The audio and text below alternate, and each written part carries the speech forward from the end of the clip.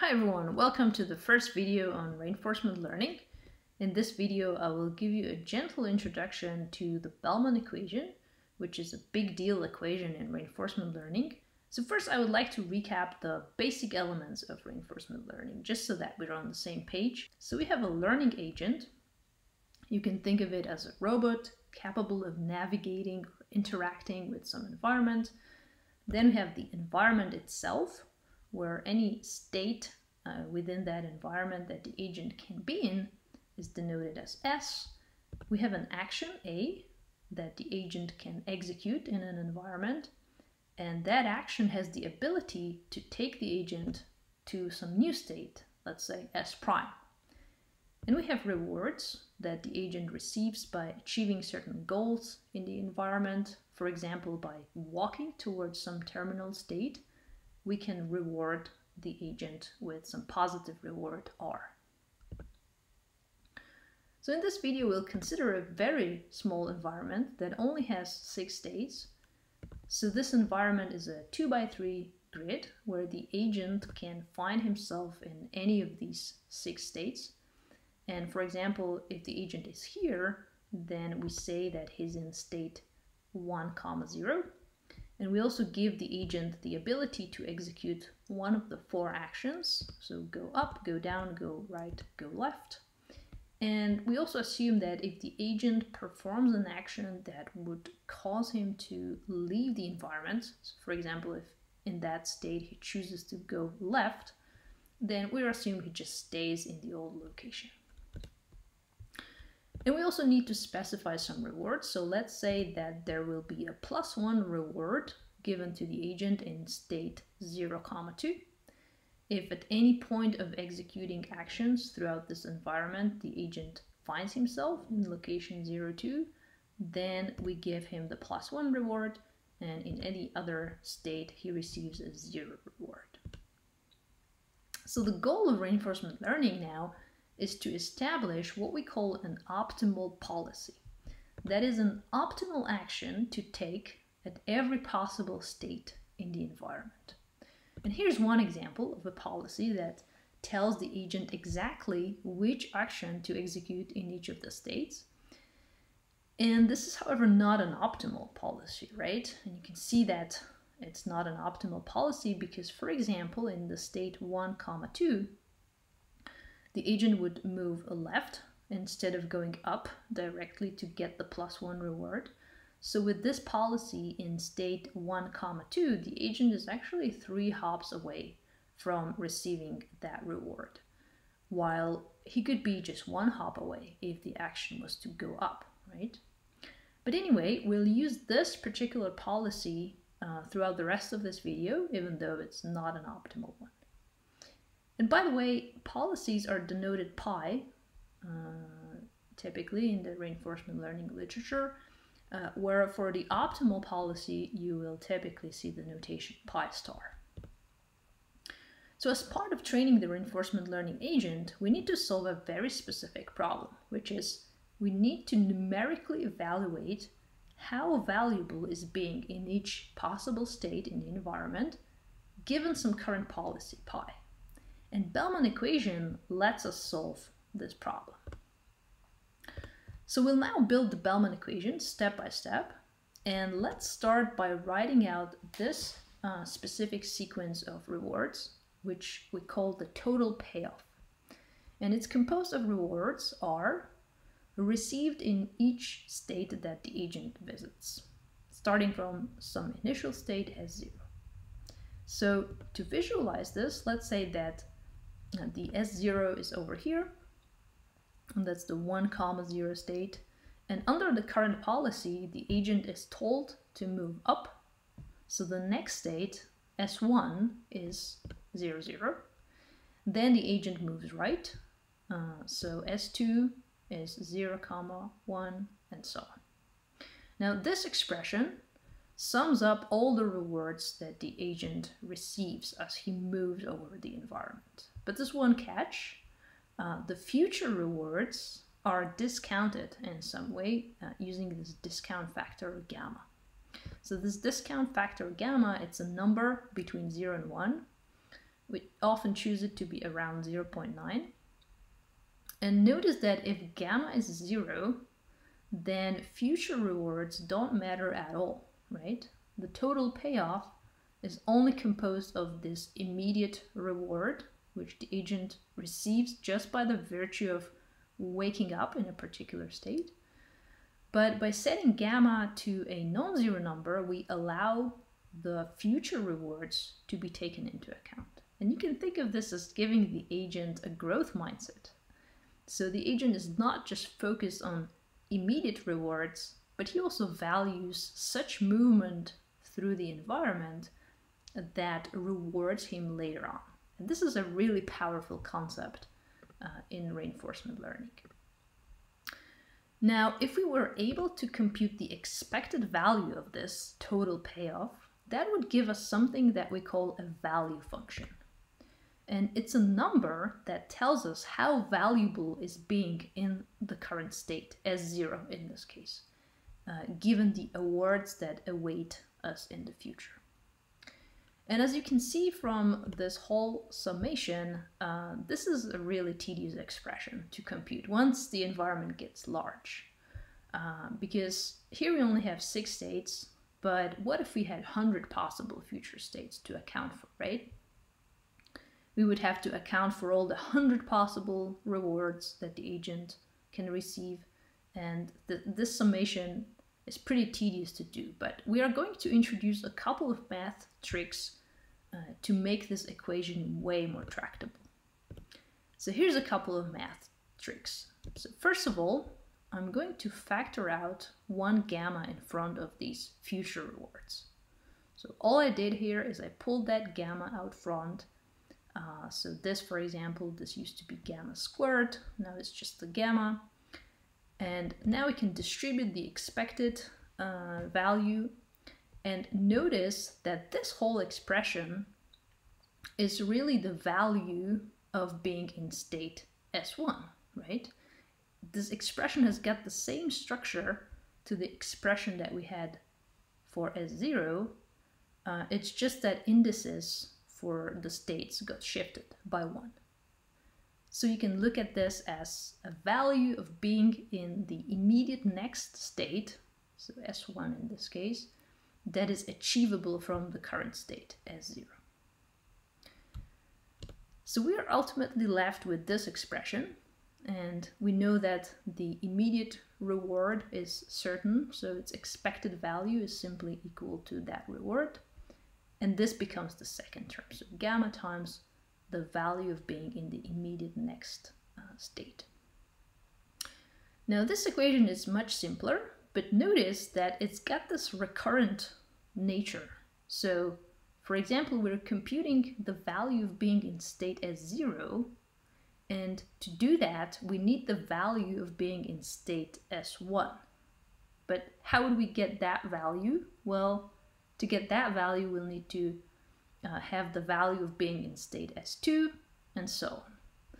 So it's got this recurrent nature, but actually it will soon turn out that this is easily solvable as a linear system of equations. So stay with me for just a little longer. So we'll make things a bit more general. Um, and we've arrived at this equation and I'm just going to change the notation a little bit so that this is valid for any current state and its immediate next state. So I will rewrite this equation like this. And all I did here is I swapped S0 for S, just to make it more general, and I swapped S1 for S prime, S prime being the immediate future state. And now let's account for one more thing. So what if there's actually more than one possible next state achievable from any current state, right? This could happen, for example, if we had an imperfect robot that we know can malfunction sometimes. So we might tell it to go in a particular direction and it will actually do something else.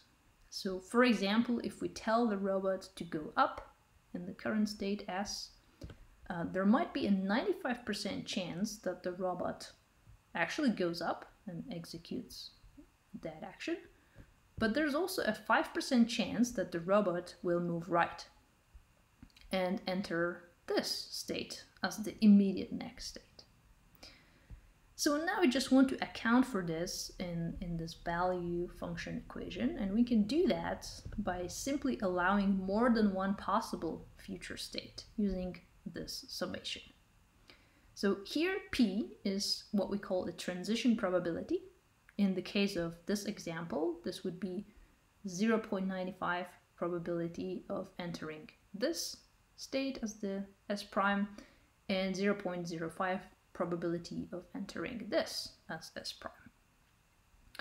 So this summation would go over two elements in this case. And typically this summation will be over a small number of elements because usually only a handful of states are immediately achievable from any current state. Now this equation is the Bellman equation that we wanted to build. And it's a very important equation that lets us solve reinforcement learning problems. Now, if we write Bellman equations for our simple environment, it leads to a simple system of six linear equations. So we have six possible states, and we can write the Bellman equation for each state, and we'll have six such equations. So the first one, for example, um, the value of being in state 0, comma 0. Uh, the second one would be for the value of being in state 0, comma 1, and so on. And that's really easy to solve. So let's, let's do exactly that. So let's write the system of Bellman equations exactly uh, for this simple environment. And this is our template for each Bellman equation. And just to make things super simple, I will also assume that all transition probabilities are equal to 1 in this problem, so our robot executes all actions perfectly. So these are our states that uh, and, and the policy, and, and this is the system of Bellman equations. So for example, the first one, the value of being in state 0, comma 0, is equal to the immediate reward that the agent will receive in that state 0, comma 0, plus gamma times the value of being in state 0, comma 1, because that's the immediate next state that will be achieved after executing this action go right. And at this point, writing out the Bellman equations becomes just the bookkeeping of all the states that will be entered after each current state. And the only unusual Bellman equation uh, over here is this one for the state 0, comma 2, because this is our terminal state, so that one over here. So the agent only receives the reward and the game kind of ends. So there are no possible future states. And you can also think of this as setting all of those uh, transition probabilities to zero in, in that state. Uh, so that's why there's nothing, there's zero standing to the right of this reward. Now this system is so simple that we can actually solve it ourselves. Uh, for example, uh, this is the only non-zero reward and all the other rewards are zero. And we can set the discount gamma to be 0.9.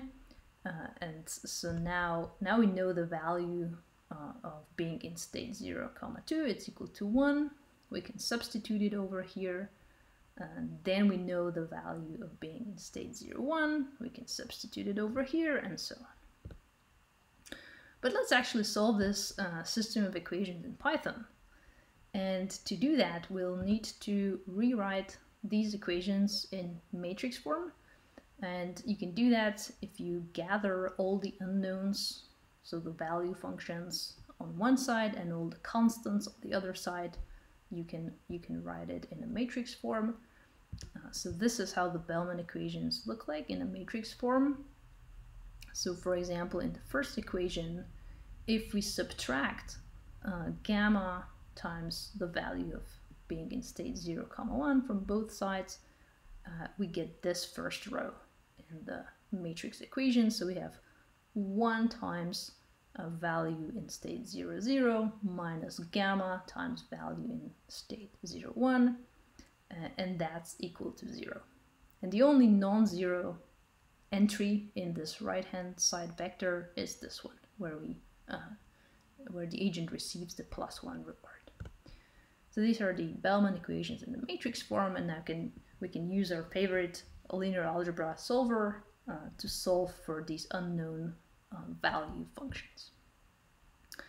So we can solve this uh, in Python using just NumPy. Uh, and we specify the discount, which is 0.9, and uh, we specify the dimensions of the environment, and we also compute the total number of states, uh, which is 6 in this case, width times the height. And now we need to code the arrays from that matrix form of the Bellman equation. So this is A, the matrix A, for example. And notice that it actually starts as an identity matrix, but then it has got these additional minus gamma terms. Uh, so we can initialize it as an identity matrix, and then we just fill in uh, all the entries that have this minus gamma.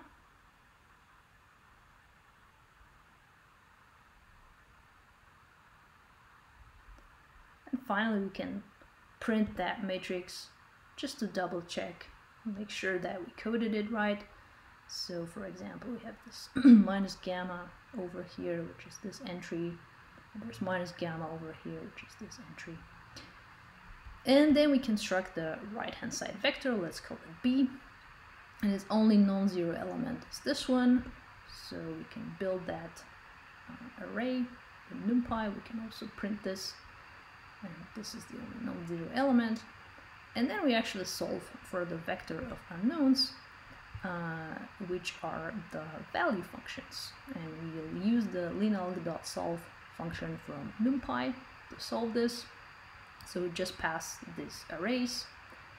And uh, the last thing I'm doing here is I'm reshaping that vector of unknowns to match the shape of our environment because once we compute it with the linear algebra, algebra solver, this is a one-dimensional array.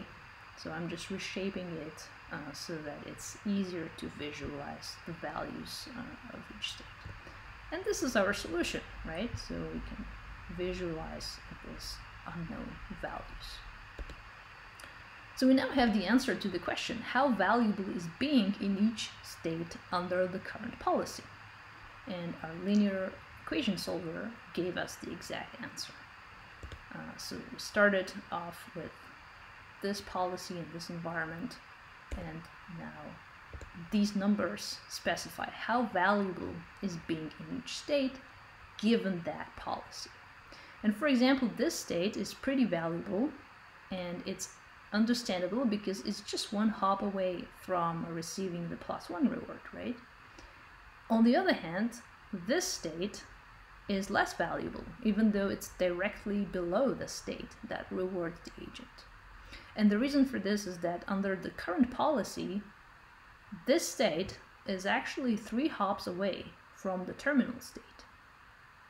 So it's less valuable than this one, and it's even less valuable than this state. So in the next video, we'll write a more general Python code that solves for the value function for an environment of any size.